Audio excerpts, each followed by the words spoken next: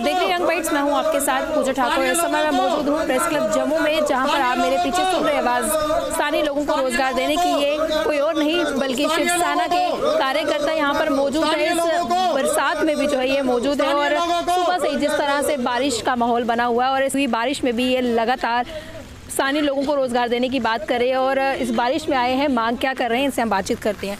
क्या कहना चाहोगे? मजबूर हो गए आप इस बारिश में आने के लिए ऐसी क्या बिल्कुल जी देखिए लगातार एमओयू साइन हो रहे हैं।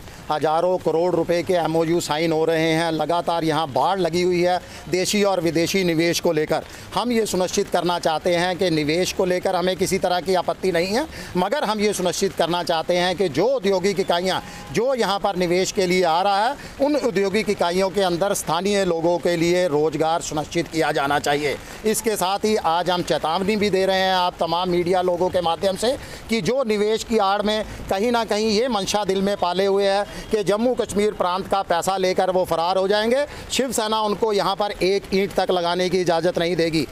हम जम्मू कश्मीर के उपराज्यपाल माननीय मनोज सिन्हा जी से, केंद्र सरकार से, प्रधानमंत्री जी से ये अपील करते हैं कि जो एमओयू साइन किए जा रहे हैं, उसके अंदर ये शर्त डाली जाए कि यहाँ का जो है उद्योग लगेंगे, उनके अंदर स्थानीय लोगों को ही सौ प्रतिशत रोज़गार दिया जाएगा। इसके साथ ही हमारी मांग है कि जो उद्योग यहाँ पर आ रहे हैं उनके अनुरूप यहाँ पर प्रशिक्षण केंद्र खोले जाएँ ताकि स्किल्ड की आड़ के अंदर भी ये लोग बाहर से लोगों को यहाँ पर रोज़गार देने में सफल ना हो। क्योंकि हमारा ये पिछला एक्सपीरियंस रहा है कि जितनी भी यहाँ पर इंडस्ट्री आती थी उसमें भी ये क्लॉज डाली डाली गई थी कि स्थानीय लोगों के लिए रोज़गार रिज़र्व रखा जाए मगर कहीं ना कहीं वो स्किल्ड की आड़ के अंदर बाहरी लोगों को रोज़गार के लिए प्रेफरेंस दी जाती थी। बारिश में प्रदर्शन की शुरुआत की है ख़त्म किस तरह से करेंगे? देखिए ख़त्म ख़त्म सरकार तक आवाज़ पहुँचा के और सबसे बढ़िया तरीका है सरकार तक आवाज़ पहुँचाने का आप लोग। और जितना हमें आज अच्छी कवरेज मिली है मुझे लगता है कि सरकार के कानों तक ये आवाज़ पहुंचेगी। और वो जो एमओयू साइन करने की होड़ मची है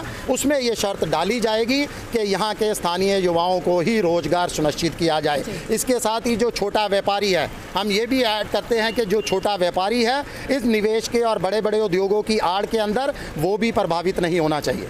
बहुत बहुत धन्यवाद जुड़े तो साफ़ तौर से उन्होंने देखा कि किस तरह से स्थानीय लोगों को रोज़गार देने की बात की जा रही है। शिवसेना द्वारा यहाँ पर इस बारिश में भी प्रदर्शन किया जा रहा है और ये उम्मीद करें हैं कि सरकार तक इनकी बात पहुँचेगी और वो इनकी बातों की जो इनकी मांगे जो है, वो मानेंगे। अब देखना है कि कब तक इनकी मांगे पूरी होती है, कब तक इनका प्रदर्शन ऐसे चलता है, आने वाला बताएगा। जर्नलिस्ट राजीव गुप्ता के साथ मैं पूजा ठाकुर यंग बाइट्स चम